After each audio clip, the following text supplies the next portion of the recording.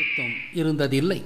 ராமாயண ஆய்வில் இது ஒரு மிக முக்கியமான திறவுகோள்.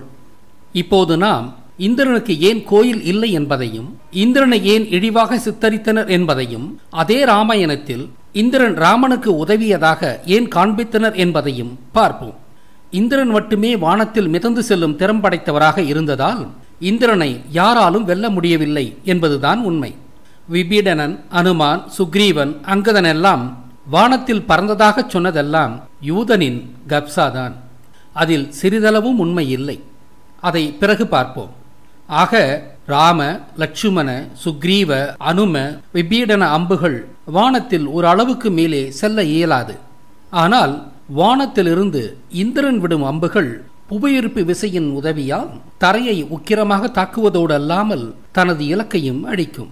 எனவே ராமன் ராவணீய போரில் வெற்றி பெற்றிருக்க வாய்ப்பே இல்லை. உண்மையில் ராமன் வெற்றி பெறவில்லை என்பதற்கான வேறு பல ஆதாரங்களை அடுத்தடுத்து வரும் விடயங்களில் விரிவாக பார்ப்போம்.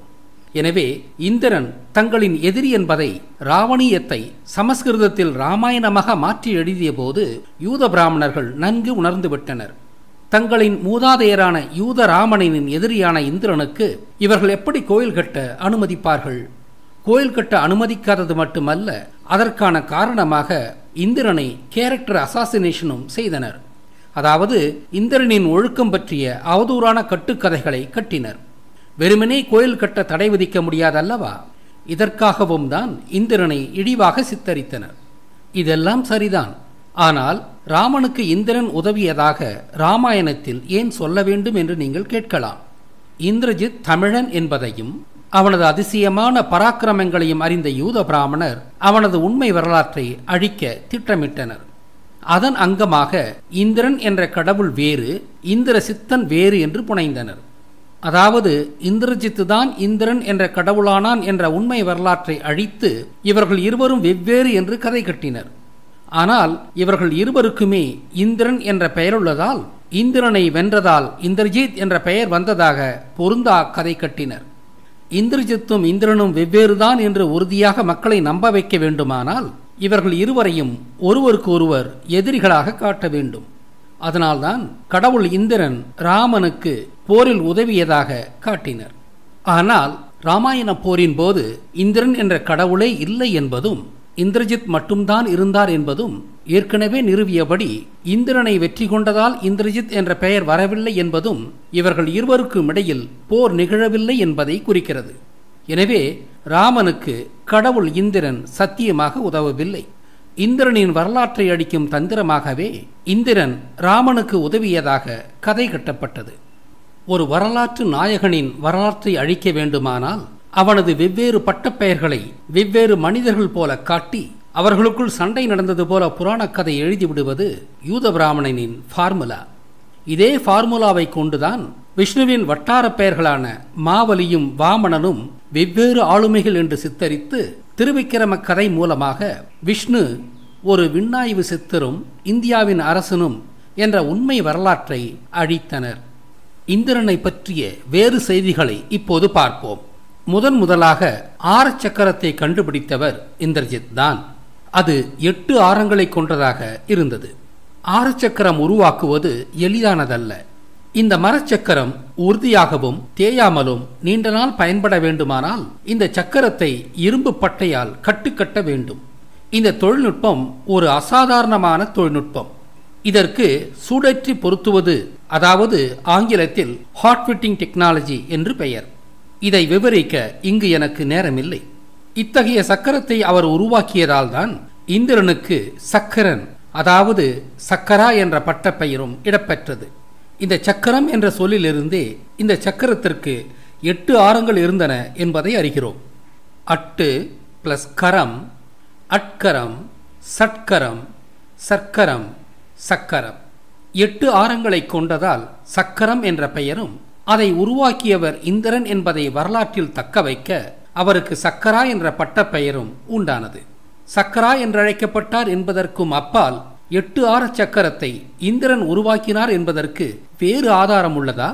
ஆம் உள்ளது. இந்திரனின் பட்டப்பெயரான சக்கரா என்பது பிற்கால நேபாளிகளால் சாக்கா என்று உச்சரிக்கப்பட்டது.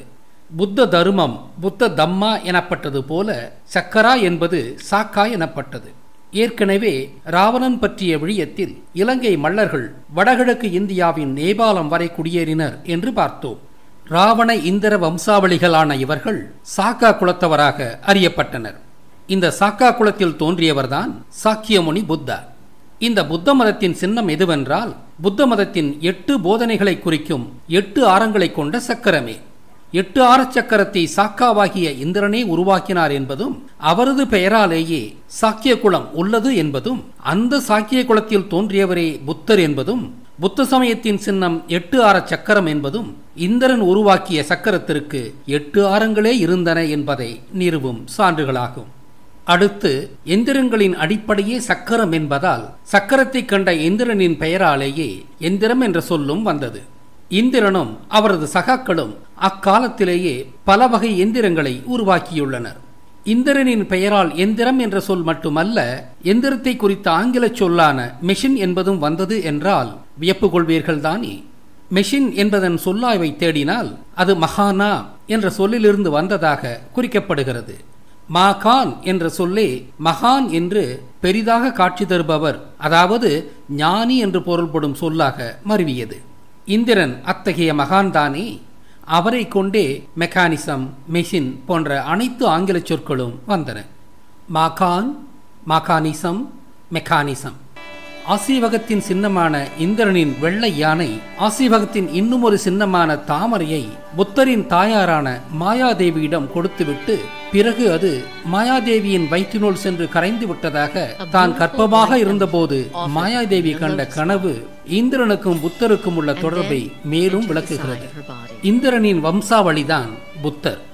அது மட்டுமல்லாமல் வானத்தில் மிதக்கும் லெகிமம் கலையை இன்று வரை வைத்திருப்பவர்கள் புத்தர்களே என்பதும் இந்திரனுக்கும் புத்தர்களுக்கும் உள்ள தொடர்பை உறுதிப்படுத்தும் சான்று. சித்த மரபுகள் தேய்ந்து வருவதால் இவர்கள் இந்திரனைப் போல மேகங்களுக்கு மேலே போக இயலாவிட்டாலும் இவர்களால் அந்தரத்தில் மிதக்க முடியும் என்பதை நிறுவுகின்றனர். கம்பெனிக்காரர்களின் ஆட்சி காலத்தில் புத்த பிட்சிகள் நூத்தி ஐம்பது அடி உயரத்தில் கூட்டமாக மிதந்த நிகழ்வுகள் பேசப்படுகின்றன. அடுத்ததாக சாக்கியர்களுக்கும் இந்திரனுக்குமான தொடர்பை மேலும் உறுதிப்படுத்தும் சான்றுதான் பாடலிபுத்திரம் என்ற புத்தர் காலத்து நகரத்தின் பெயர். இந்த நகரம் இன்று பீகாரின் தலைநகராக பட்டினம் என்ற தமிழ்ச்சொல்லின் மருவாக மறுவாக பாட்னா என்று அழைக்கப்படுகிறது. பீகாரில்தான் புத்தகயா இருந்தது என்பதையும் அங்குதான் நாலந்தா பல்கலை இருந்தது என்பதையும் நினைவில் கொள்ளுங்கள். இவை பாடலிபுத்திரத்திலிருந்து நூறுகள் தொலைவிலேயே அமைந்துள்ளன. பாடலிபுத்திரத்திற்கு அந்த பெயர் எப்படி வந்தது? யாழ்ப்பாண பாட்டாளிகளின் வம்சாவளிகள் அதாவது புத்திரர்கள் வாழ்ந்த ஊர்தான் பாடலிபுத்திரம் என்பது. இங்கு பாட்டாளிகள் என்பதற்கு பாடல் பாடுபவர்கள் என்று பொருள். யாழ்வாணர்கள் வாழ்ந்த ஊர்தானே யாழ்ப்பாணம்? ஆனால் பாட்டாளிகள் என்பது விவசாயிகளையும் குறிக்கும். விவசாய வேலைகள் கடினமானது என்பதால் அவர்கள் பாட்டு பாடிக்கொண்டே வேலை செய்வதால் விவசாயிகளுக்கு பாட்டாளிகள் என்றும் பெயர்.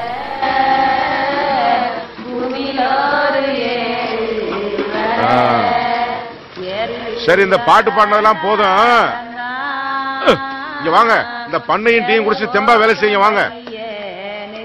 ஆக பாடலிபுத்திரத்தில் வாழ்ந்த மக்கள் விவசாயிகளான மல்லர்கள் என்றும் யாழ்ப்பாணம் போலவே பாடலிபுத்திரமும் இசையும் கூத்தும் சிறந்து விளங்கிய மண் என்றும் உணர்க. இந்த செய்திகளை நினைவில் இருத்தி வையுங்கள். ராமாயண ஆய்வில் இவை மீண்டும் பயன்படும் செய்திகளாகும். முருகன் விவசாயத்தை தொடங்கியதால் பருவத்தை குறிக்கும் நாட்காட்டியை உருவாக்க வேண்டிய அவசியம் முருகனுக்கு ஏற்பட்டது. சிவனின் சந்திர நாட்காட்டி பருவங்களை குறிக்கும் நாட்காட்டி அல்லாததால் இது விவசாயத்திற்கு பயன்படாது. இலங்கையில் தனது மானாவாரி விவசாய பருவத்தின் தொடக்கமாக சூரியனின் தென் செலவின் இறுதி நாளைக் கொண்டு அந்நாளில் கீழே தொடுவானில் வைகரையில் தோன்றிய உடுக்கூட்டத்திற்கு சித்தர் ஓரை என்று சிவனின் பெயரால் பெயரிட்டு அந்த ஓரையை அடையாளமாக கொண்டு கணிக்கப்படும் ஆண்டு கணக்கை சித்திரையல் ஆண்டு என்று முருகன் பெயரிட்டார். ஆனால் சிவனின் சந்திர நாட்காட்டியை தொடர்ந்து கடைபிடிக்கும் மலைமகனான இந்திரன் தாங்கள் விவசாயத்தில் ஈடுபட்ட போது சந்திர நாட்காட்டியை விவசாயத்திற்கு உகந்ததாக திருத்தி சந்திர சூரிய நாட்காட்டியாக மாற்றி அமைத்தார் அதாவது மூன்றாண்டுகளுக்கு ஒரு முறை ஒரு அதிக மாசத்தை இணைத்து பதிமூன்று மாதங்களை கொண்ட ஆண்டை ஏற்படுத்தி பின்தங்கி வரும் தமது சந்திர நாட்காட்டியை முருகனின் சித்திரையல் நாட்காட்டியோடு நேர்படுத்தி கொண்டார். சாக்காவாகிய இந்திரனால் இந்த முறை உருவாக்கப்பட்டதால் இது சாக்கா நாட்காட்டி என்று அழைக்கப்பட்டது. இது வட இந்தியாவிலும் தென்கிழக்கு ஆசிய நாடுகளிலும் இன்றும் ஒரு சில மாற்றங்களோடு பயன்பாட்டில் இருக்கிறது. முருகனின் மக்கள் கட்டிய அணையை ராவணீய போரின் உத்தியாக இந்திரன் உடைத்தார் என்று கண்டோம். அதோடு இந்திரனே போரிலும் வென்றார் என்றும் சொன்னேன் அல்லவா?